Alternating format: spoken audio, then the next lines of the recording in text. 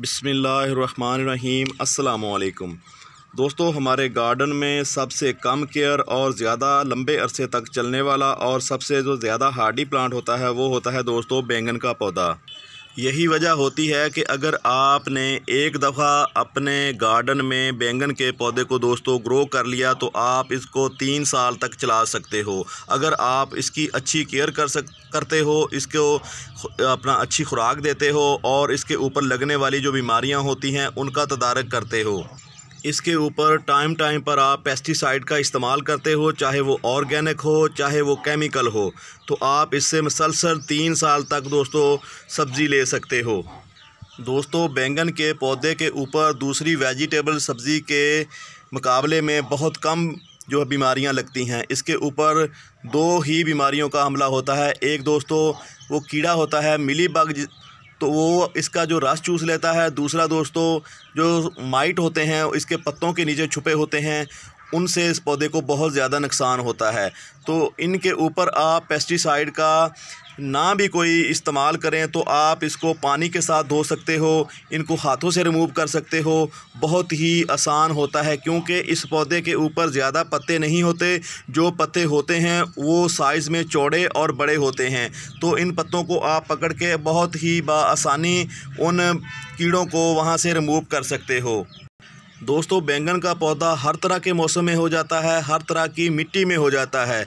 मिट्टी से यहाँ पे मराद ये है कि अगर आपके पास सौगी मिट्टी है तो उस मिट्टी में भी दोस्तों ये पौधा बहुत ही आसानी से चल जाता है। अगर आपके पास नरम मिट्टी है, रेतली मिट्टी है तो उस मिट्टी में भी दोस्तों बहुत ही आसानी से चल जाता है। शर्त ये है कि मिट्टी जरासीम से पाक होनी चाहिए। बाज़ात मिट्टी में दोस्तों फंगस मौजूद होती है तो उस पौध, उस जगह पर आप कोई भी पौधा लगा दोगे तो वो पौधा सर्वाइव नहीं कर सकेगा। क्योंकि सबसे मेन वजह जो होती है हमारे पौधों की मरने की। दोस्तों, वो फंगस की वजह से ही मरते हैं। फंगस दोस्तों डेवलप होती है पानी से।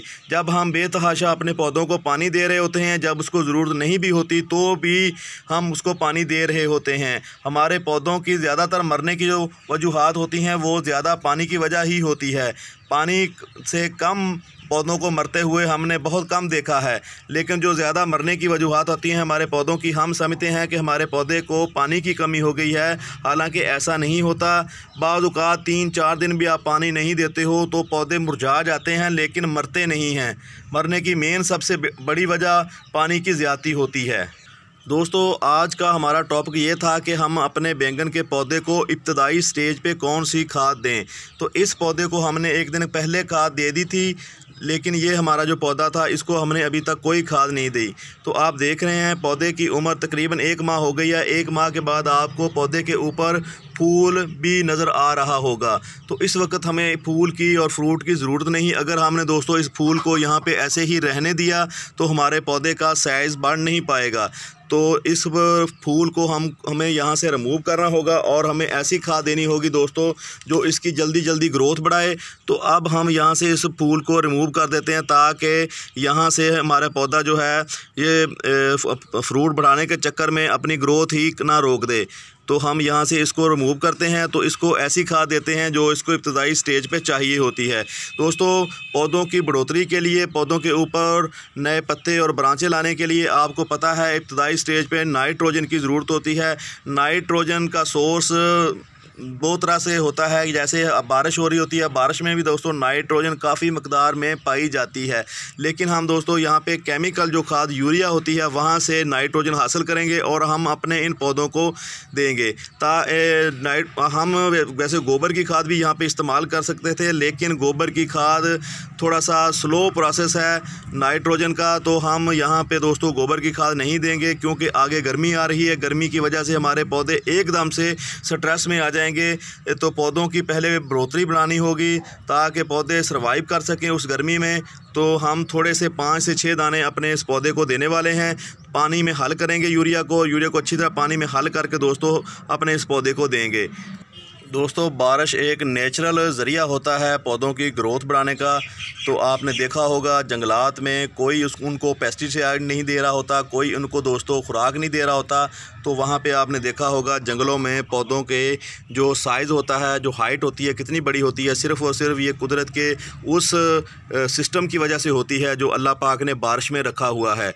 तो अब यहाँ पे हम इसको आर्टिफिशियल जो यूरिया होता है या नाइट्रोजन होती है तो वो हम इसको देने वाले हैं। इस स्टेज पे इसको यही खाद की ज़रूरत होती है और इसके बाद दोस्तों फास्फोरसी पोटाश वाली खादों की ज़रूरत होती है जो अभी इस पौधे को ज़रूरत नहीं क्योंकि पौधों की ग्रोथ इतनी अच्छी नहीं है तो पौधों की ग्रोथ बढ़ानी होगी तो जो सिर्फ़ और सिर्फ़ नाइट्रोजन फर्टिलाइज़र से ही दोस्तों मुमकिन है। दोस्तों हमारा जो बैंगन का पौधा है, ये फ्रूट वाली टोकरी में लगा हुआ है, इस टोकरी में दोस्तों दो पौधे लगे हुए हैं, एक ये यहाँ पे आप देख रहे हैं और ये दूसरा ये है। तो इस साइज़ के मुताबिक दोस्तों, हमारे पौधे को सिर्फ़ और सिर्फ़ यूरिया की इतनी की दानों की ज़रूरत होगी। तो हम इसको एक लीटर पानी में अच्छी तरह हल कर लेते हैं। अच्छी तरह हल करके दोस्तों अपने इस पौधे को देंगे। तो अगर आपने थोड़ी सी भी इसकी मकदार बढ़ा दी तो हो सकता है आपका पौधा जल जाए। तो आपने पाँच से छः आपने दस दानों से ज़्यादा जो है ना, किसी भी साइज़ के गमले में नहीं डालने।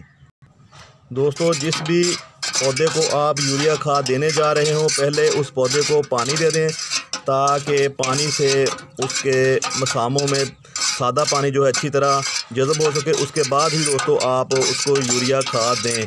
अगर दोस्तों थोड़ी सी भी इसकी क्वांटिटी ज़्यादा हो गई तो हो सकता है आपका पौधा मर जाए। तो हम यहाँ पे देने जा रहे हैं। तो इस तरह दोस्तों आपने अच्छी तरह मिक्स करके तो यहाँ पे थोड़ा सा इसको और दे देते हैं, क्योंकि दो तीन दिन पहले हमने इसको यूरिया खाद दे चुके हैं।